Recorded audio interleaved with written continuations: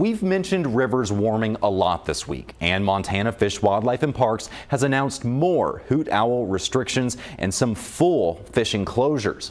Fishing is prohibited between 2 p.m. and midnight on the Clark Fork River from Warm Springs and Silver Bow Creeks to the confluence with the Flathead River northwest of Missoula.